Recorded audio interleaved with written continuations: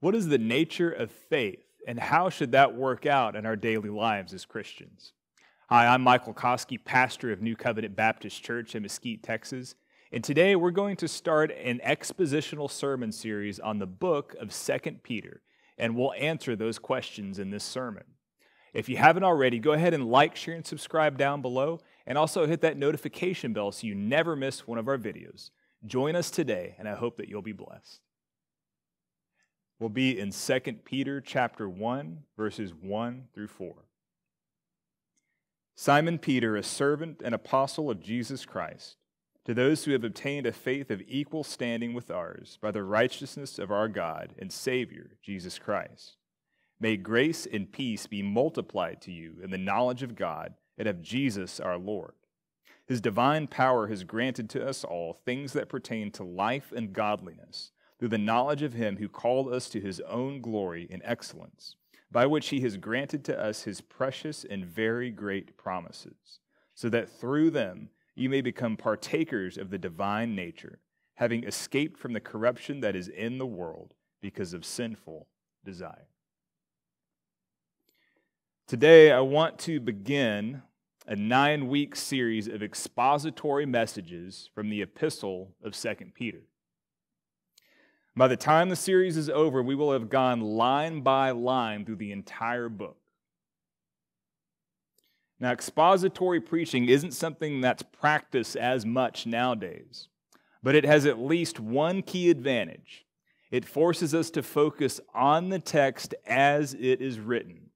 And if done correctly, it doesn't allow us to go off into the weeds of what we think is most important.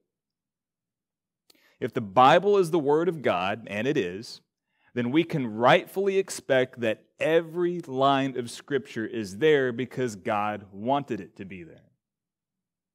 Every word that proceeded from God to the biblical authors was revealed and written for a reason. There are no such things as throwaway sentences in the Bible.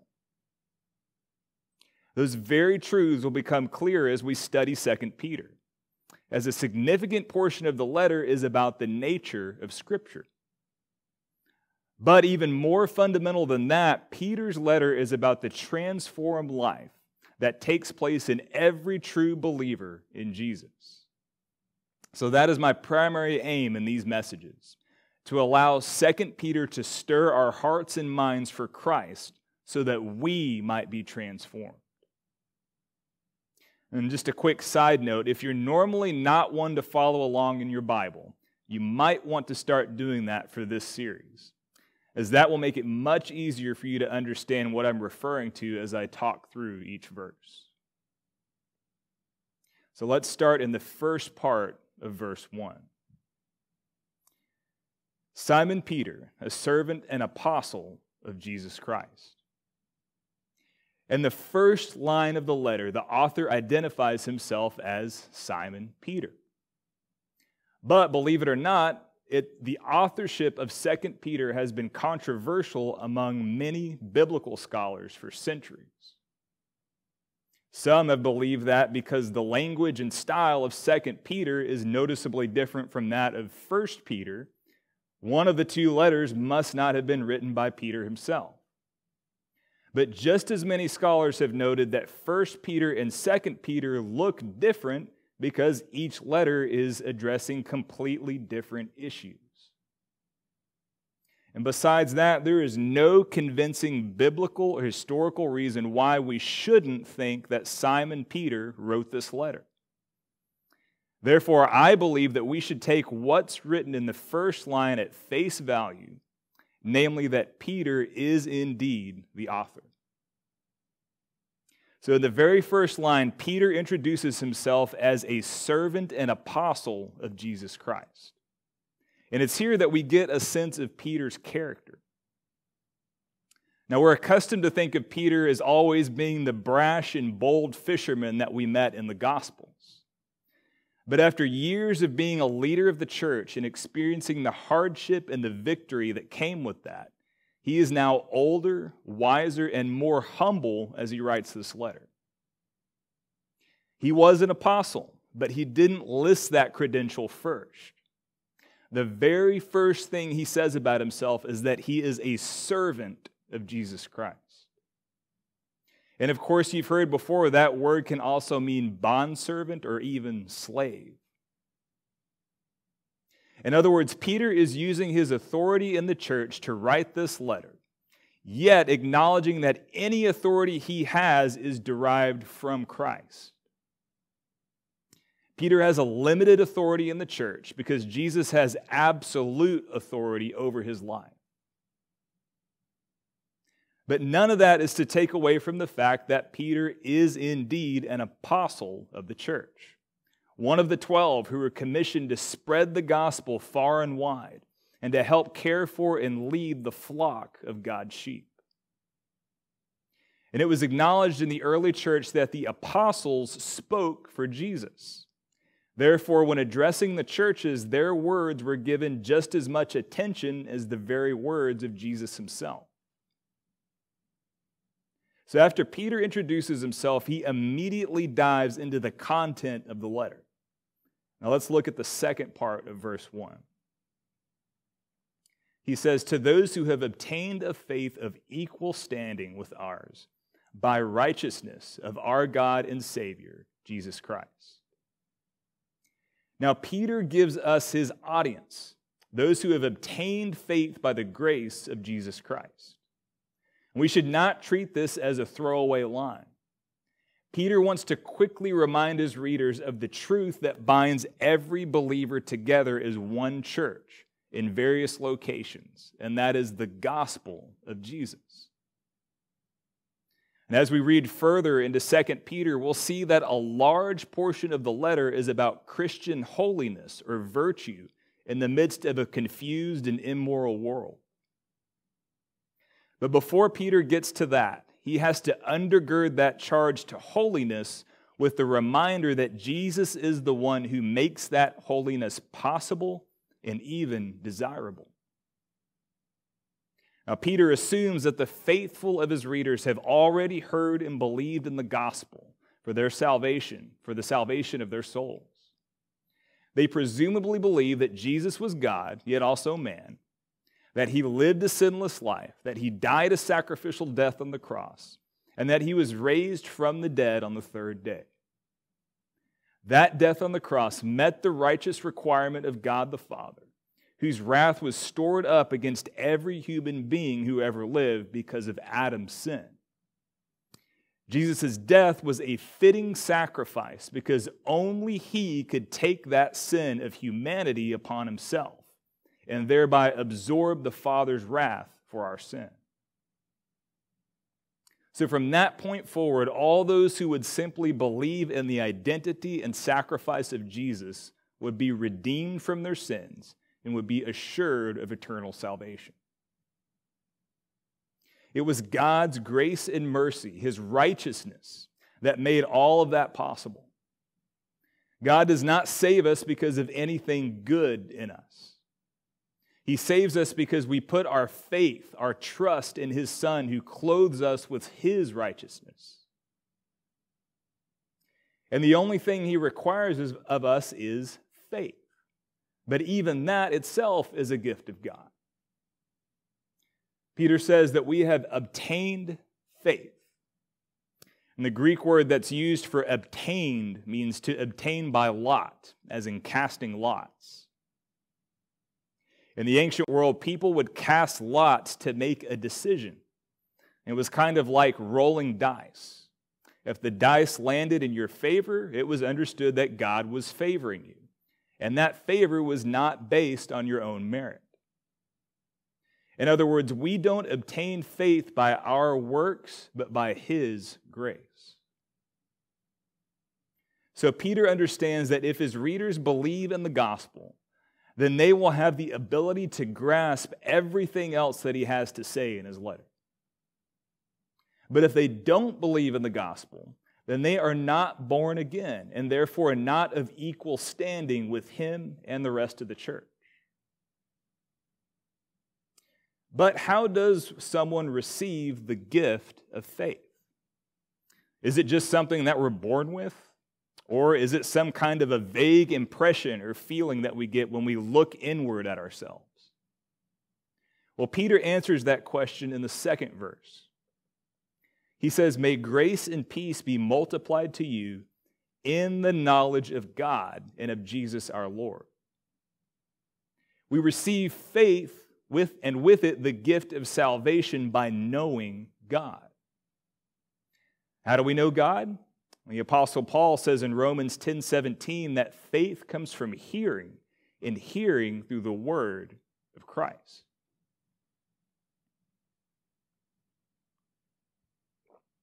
We receive knowledge of God from hearing the gospel and from hearing the proclamation of God's word.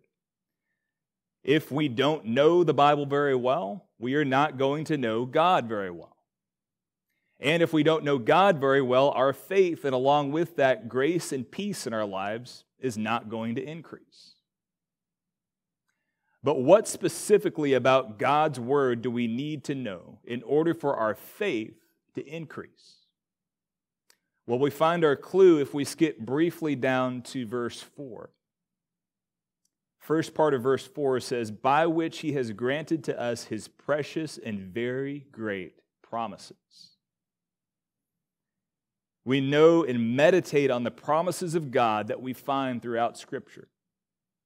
God uses that knowledge to bolster our faith and to help us to press on when life gets hard. Here's something you can start applying right away. Make it a habit to identify God's promises in your daily Bible reading and to meditate on those promises throughout the day.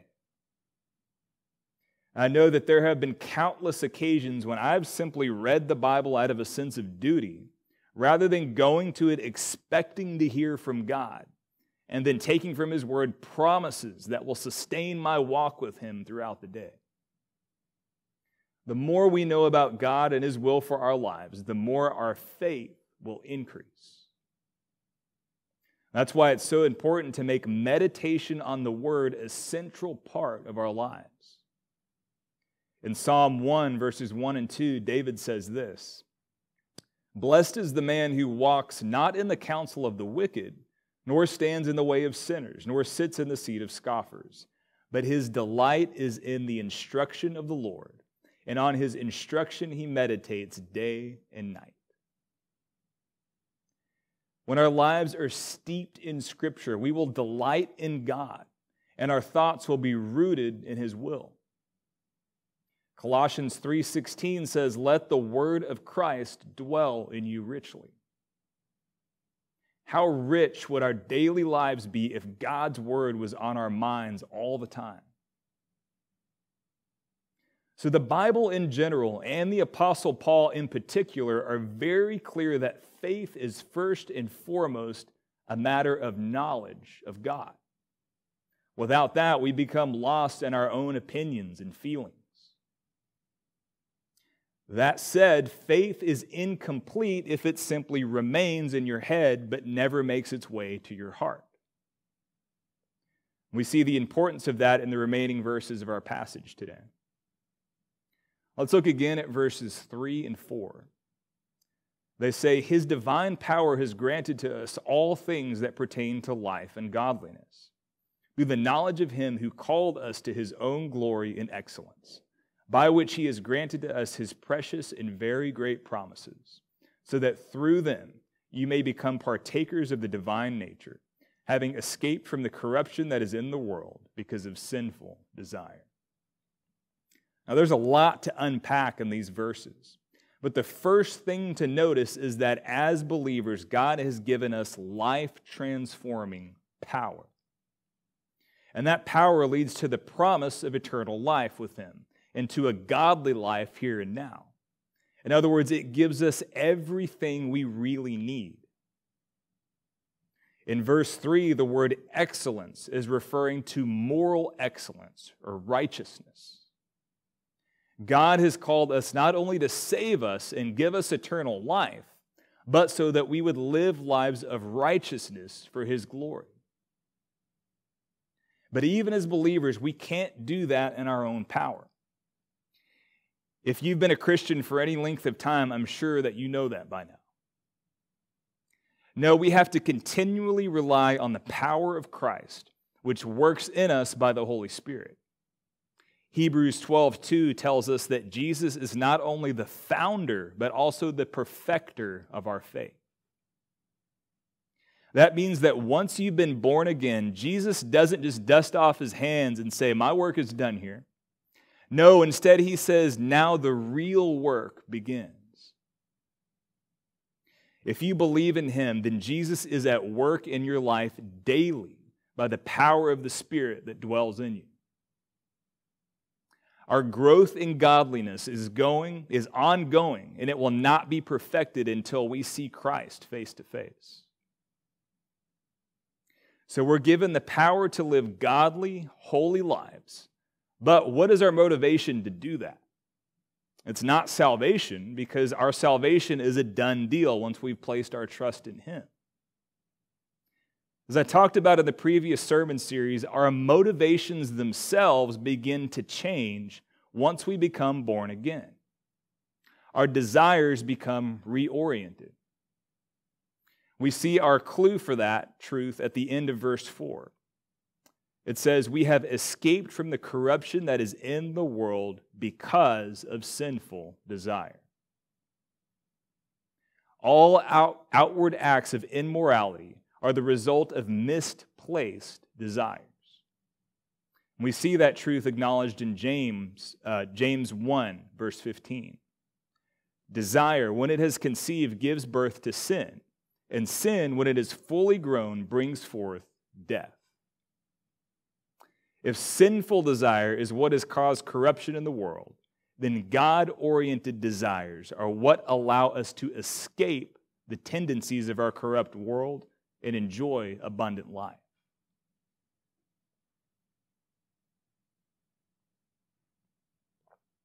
Oftentimes, when we think of grace, we think of God's salvation of sinners giving them eternal life with Him. But what does grace do for us in the here and now? It transforms our hearts. And with a transformed heart comes transformed desires, desires that have their focus on the things of God. In John Piper's short biography on St. Augustine, he summarizes Augustine's understanding of grace, saying this Grace is God's giving us sovereign joy in God that triumphs over joy in sin.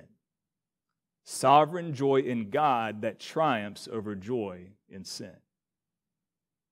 I think that's a wonderful definition of grace that highlights how God gives us the power to delight in Him and to no longer delight in sin. Delight in God leads to everlasting life. Delight in sin leads to everlasting torment. So, those godly desires lead to a life of good works. The problem with those believers who only have a head knowledge about God, but have not yet allowed their affections to be stirred by Christ, is that they don't act on what they know to be true. And if they do act on it, they do those things begrudgingly and eventually burn themselves out by trying hard to be good people. But James 1, verses 22 through 25 says this Be doers of the word, not hearers only, deceiving yourselves. For if anyone is a hearer of the word and not a doer, he is like a man who looks intently at his natural face in a mirror. For he looks at himself and goes away, and at once forgets what he was like. But the one who looks into the perfect law, the Word of God, the law of liberty, and perseveres, being no hearer who forgets, but a doer who acts, he will be blessed in his doing. So let's not be hearers only of God's Word. Instead, let's listen intently to the words of Peter and commit to living in the power of God, allowing our heads and our hearts to produce fruit that glorifies our Lord and Savior, Jesus Christ. Let's pray. Father, thank you so much for the opportunity to preach your word. Lord, I pray that this word would touch hearts and minds, that it would bring about not just information, but transformation, Lord. Guide us, Lord. Continue to transform our hearts throughout this coming week. Help us to place our thoughts and our affections on you. We pray for reoriented desires, Lord, that would love you more than anything else in this world. It's in Jesus' name we pray these things. Amen. Hey everyone, thanks again for watching. I hope that you were blessed by today's message. Go ahead and join us next week for our second installment in our series on 2 Peter. And if you haven't already, go ahead and like, share, and subscribe down below. And also hit that notification bell so you never miss one of our videos. And you can check out our other videos on this channel. Have a great week, and God bless.